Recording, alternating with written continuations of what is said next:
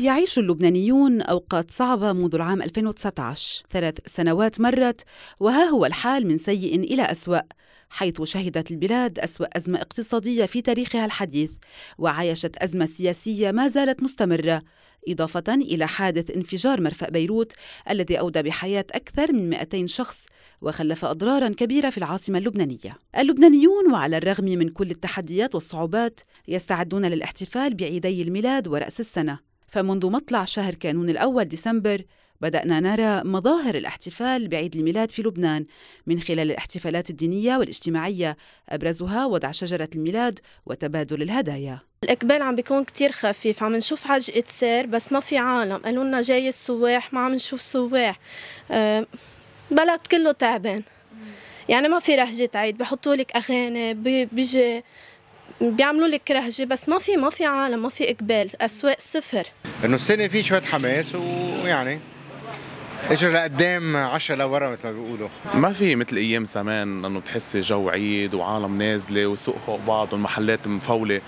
أه مثل ما شايف يعني إذا بتصوري بتشوف السوق ما في هالحركه يعني بس للضرورة عم ينزلوا.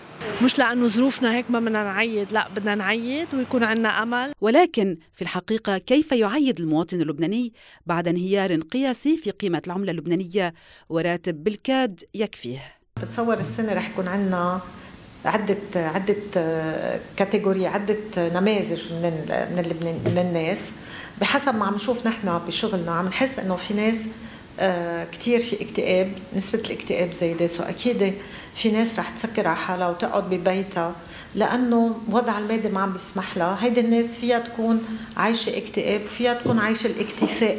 يعني يكونوا هن مبسوطين بوضعهم ومرتاحين بقلب البيت. وفي ناس رح تحس بإكتئاب لأنه ما قادرة تظهر مثل كل سنة. وبتصور في ناس رح يكون عندها الإمكانية تظهر وتنفس وتعبر وتشارك بالعيلة عن تكمل تقليدها مثل ما إلها بالعادة تعمل. وفي ناس مثل العادة رح يضلوا بالمطاعم ويعبوا المطاعم لأنه لحد هلأ بعتقد آه، المطاعم مليانة يعني بتصور الحجوزات على العيد مليانة. هل المواطن اللبناني يعيش حالة إنكار ويتصرف وكأن ليس هناك أزمة اقتصادية؟ ما فينا نقول أنه كل اللبنانيين عايشين إنكار بس شيء أكيد أنه آه، اقتصاديا في لبنانية عم يندعموا من برا في كتير مغتربين جايين يحتفلوا بعيد الميلاد خصوصي مع أهلهم ومع عيالهم لأنه بالنسبة لهم المشاركة هون أريح من برا صارت بالنسبة لهم أوفر أنهم يجوا هن ويقعدوا مع كل العائلة آه، من ما يقعدوا وحدهم برا بالنسبة لهم شيء هين سو هن رح يكملوا رساله الميلاد. وفي ناس مزبوط عايشة انكار بتكب مصرياتها كل هالشهر بتقعد يمكن شهرين ثلاثة ما معها بس تنبسط بهيدا العيد. وفي ناس رح تعيش الواقع وتفكر إنه العيد هو مش بس إني يكون عم باكل وأشرب وأعمل كادويات. في ناس رح تصلي في ناس رح تروح للصلاة رح تلجا للصلاة بهيدا العيد. وفي ناس رح تعمل آه، يمكن رح يكون عندها آه، النرجسية تبعها تفلشها هون الناس اللي بيجوا بيصيروا يوزعوا المصاري ويبينوا إنه هن عم بيعملوا خير.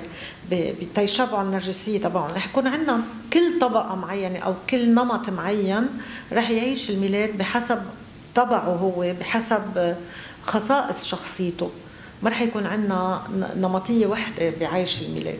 لا شك أن الكثير من اللبنانيين اضطروا إلى تغيير عاداتهم وإعادة برمجة أولوياتهم خصوصا أن الغلاء الفاحش ضرب كل مستلزمات الاحتفال بالأعياد أي أنه اعتاد على التأقلم معها والتغلب عليها بحنكته وصموده. ولكن عليه التنبه أن التأقلم سيف ذو حدين.